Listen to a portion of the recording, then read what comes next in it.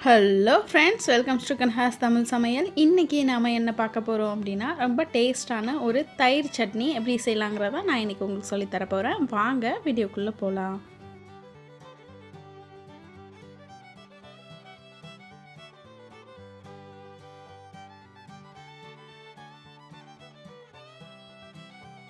தேவையான பொருட்கள் ஒரு கப் தயிர் எடுத்துக்கோங்க. சின்ன வெங்காயம் பொடியாக கட் பண்ணது. உப்பு காஞ்ச மிளகாய் புளி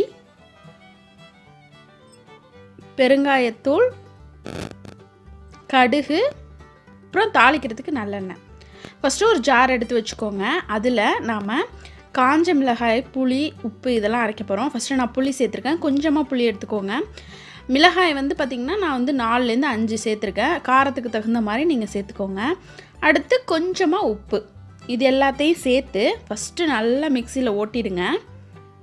கொஞ்சம் குறை குறைன்னு இந்த மாதிரி இருக்கும். இப்போ வந்து நீங்கள் கொஞ்சமாக தண்ணி ஆட் பண்ணி திரும்பவும் அரைச்சிக்கோங்க. ஓரளவுக்கு நல்ல பேஸ்ட் ஆகிற அளவுக்கு நீங்கள் அரைச்சி எடுத்துக்கிட்டிங்கன்னா அது வந்து நல்லாயிருக்கும் இப்போ இது மாதிரி நல்லா அரைச்சி எடுத்து வச்சாச்சு. அடுத்து ஒரு பேன் வச்சுக்கோங்க. பேன் நல்லா சூடானதும் ஒரு மூணு டேபிள் ஸ்பூன் அளவுக்கு நல்லெண்ணெய் விட்டுக்கோங்க. நல்லெண்ணெய் வந்து உடம்புக்கு ரொம்பவே நல்லது. நம்ம சின்ன வெங்காயம் நல்லெண்ணெய் எல்லாத்தையும் சேர்க்கும்போது இது வந்து இன்னும் வந்து ஹெல்த்தியானதாக இருக்கும். சட்னி தயிர் வந்து உடம்புக்கு நல்லது தான் ரொம்ப குளிர்ச்சி. சின்ன வெங்காயம் குளிர்ச்சி நல்லெண்ணெய் குளிர்ச்சி எல்லாமே நம்ம வந்து நல்ல விதமாக சேர்க்குறதுனால இது வந்து ரொம்ப ஹெல்த்தியானதாக இருக்கும்.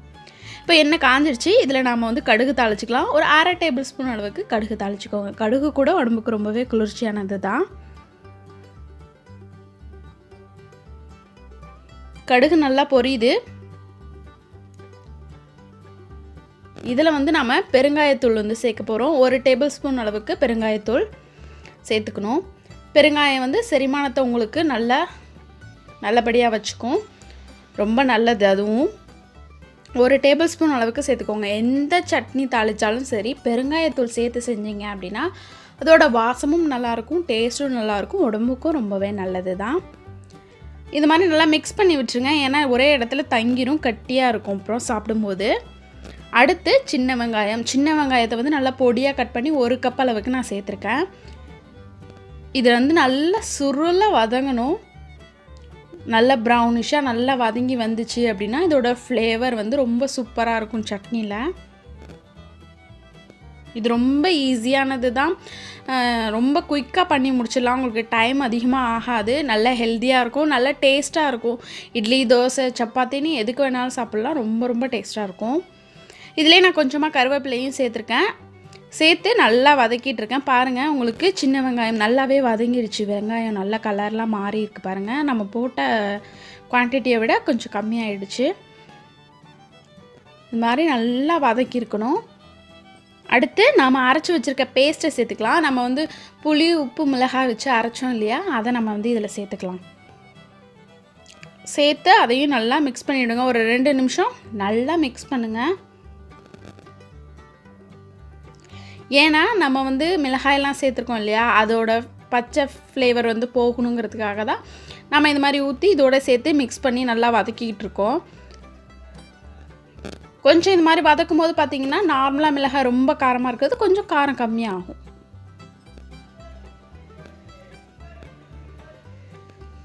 தண்ணி ஆட் பண்ணிக்கோங்க.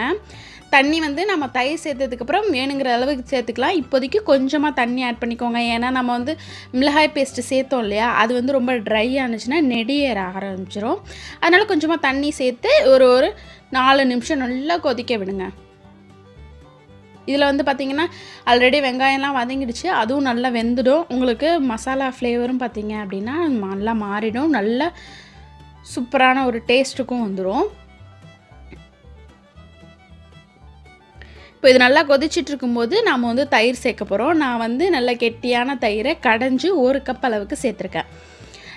மெயின் வந்து தயிரை நல்லா கடைஞ்சிட்டு அதுக்கப்புறமா சேருங்க. அதே கப்பால் ஒரு ரெண்டு கப் அளவுக்கு நான் தண்ணி ஊற்றுறேன் அதாவது தயிர் ஊற்றுனேன் இல்லையா ஒரு கப்பு அந்த கப்பாலே ரெண்டு கப் அளவுக்கு தண்ணி ஊற்றிக்கிறேன் நல்ல கெட்டியான தயிருங்கிறதுனால நான் இது மாதிரி பண்ணியிருக்கேன்.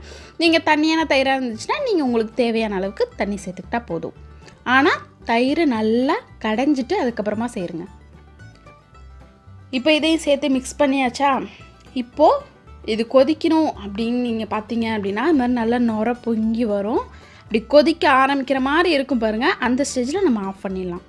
இப்போ பார்த்தீங்கன்னா இது இப்படி கொதிக்க ஆரம்பிக்கிற ஸ்டேஜ் அப்படியே அங்கங்கே கொதிக்குது பாருங்கள் பொங்கி வந்திருக்கு. இப்படி அங்கங்கே இப்படி கொதிக்கும் போது நீங்கள் அடுப்பை ஆஃப் பண்ணிவிடுங்க நான் அடுப்பை ஆஃப் பண்ணிட்டேன். ஆஃப் பண்ணிவிட்டு இது மாதிரி மிக்ஸ் பண்ணி விட்டுக்கிறேன். ரொம்ப கொதிச்சிருச்சு அப்படின்னா உங்களுக்கு வந்து தயிர் அதாவது பால் தெரிஞ்சு போனால் எப்படி இருக்குமோ அந்த மாதிரி இருக்கும். இப்போ நம்மளோட டேஸ்டான தயிர் சட்னி ரெடி ஆகிடுச்சு கண்டிப்பாக எல்லோரும் ட்ரை பண்ணுங்கள் இந்த வீடியோ உங்களுக்கு பிடிச்சிருந்துச்சுன்னா எல்லாருக்கும் ஷேர் பண்ணுங்கள் எங்கள் சேனலை சப்ஸ்கிரைப் பண்ணுங்கள் கூடவே பக்கத்தில் இருக்க பெல் பட்டனை ப்ரெஸ் பண்ண மறந்துடாதீங்க.